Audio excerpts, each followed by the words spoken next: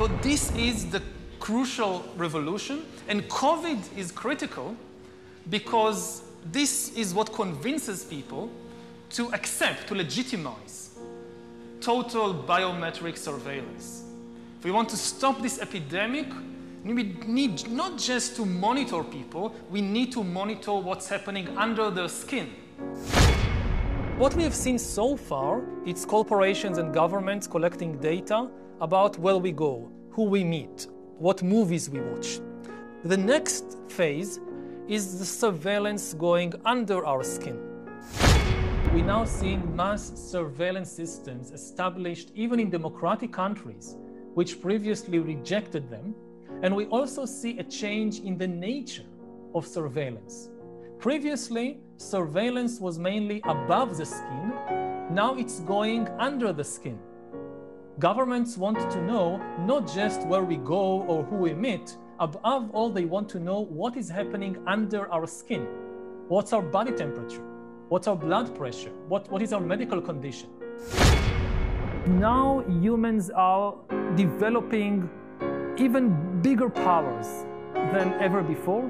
We are really acquiring divine powers of creation and destruction we are really upgrading humans into gods. We are acquiring, for instance, the, the power to re-engineer life. Humans are now hackable animals. You know, the, the whole idea that humans have, you know, this, they, they have this soul or spirit and they have free will and nobody knows what's happening inside me. So whatever I choose, whether in the election or whether in the supermarket, this is my free will, that's over. I mean, all this story about Jesus rising from the dead and being the Son of God, this is fake news. I know that in recent years we saw populist politicians undermining deliberately the trust that people have in important institutions like universities, like respectable media outlets. These populist politicians told people that, say, scientists are this small elite disconnected from the real people. You shouldn't believe them. And you had all these conspiracy theories that climate change is just a hoax, it's not real, and that the earth is actually flat, and that vaccination are bad for you, and this spread. But I don't think it's too late. Especially in an emergency, people can change their views very fast and they can discover hidden reservoirs of trust. You look in this crisis, who do people trust? They trust scientists above everything else. In, in, all countries. In Israel, they closed down the synagogues. In Iran, they closed the mosques. Churches all over the world are telling people don't come to church. The Pope is doing all these ceremonies on, on, on, on Zoom or YouTube. And why do they do all this? Because the scientists recommended it. Even the religious leaders have trust in the scientists. Yeah. And the easiest people to manipulate people are the people like who believe in free will.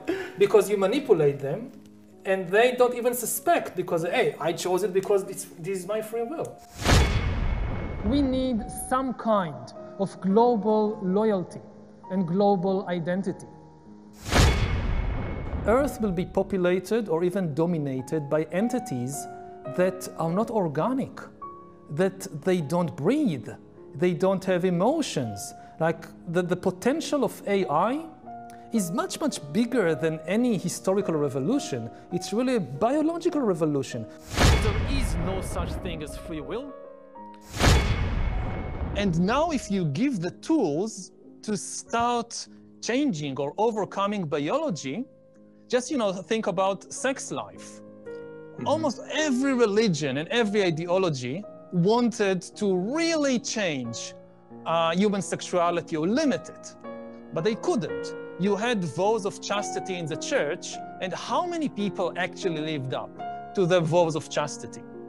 Now think if you can really start messing with human biology, what will be the result of these sexual fantasies of different religions and ideologies? Then the big political and economic question of the 21st century will be what do we need humans for? Or at least, what do we need so many humans for? Do you have an answer in the book? Um, at present, the best guess we have is uh, keep them happy with drugs and computer games. An algorithm is able to take into account thousands and thousands of data points, each with a very small weight. And if you ask why the algorithm rejected my request for a loan, so the bank can print out millions of pages of, of data and tell you that's why. The algorithm went over all this and calculated that you are not creditworthy. And our minds just can't understand this type of decision making. And it can be on a personal level, it can also be on the level of an entire country. That to decide whether to raise or lower interest rate, for example. It will not be done by a human banker or finance minister, it will be done by an AI. Already today, how many people really understand the financial system? I guess less than 1% of people really understand finance.